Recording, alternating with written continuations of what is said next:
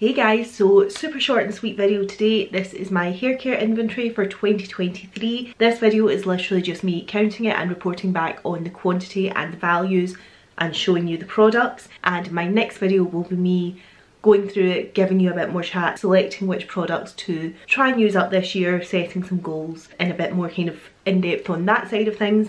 This video is literally just the numbers, so let's get on into them. For pre-shampoo products, I have three worth $49.13. For shampoo, I have 10 bottles worth $175.24.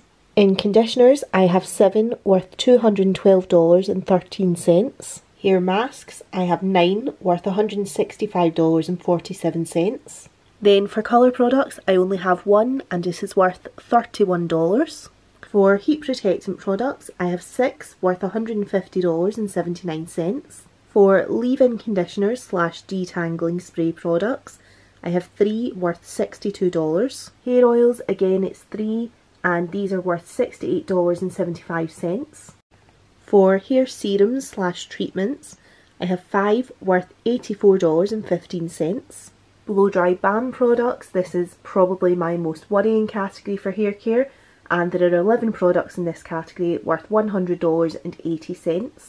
I think you can tell from looking at these, like most of these have been gifts, they've not been something that I've actually bought, they've been, you know, free samples or gifts with purchase. By far the biggest category in my hair care inventory and one that I need to try and get under control. A category that is under control are my volume blow dry sprays. I have one worth $30. For hair mousse, I have three worth $41.89.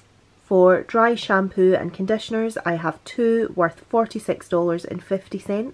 For texture sprays, I have two again, and these are worth $38.10.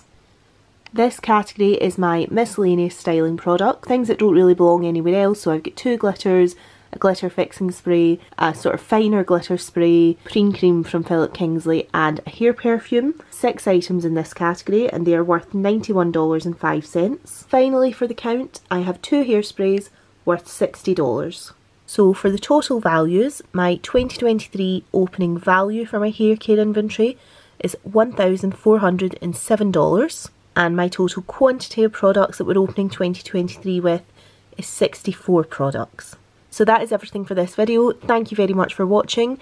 My next video will be me going through the hair care categories and picking what to try and use this year, what to keep down, what to store away, and setting some goals for where we'd like to be for our 2024 opening. So thank you very much for watching this one and I will see you in the next one.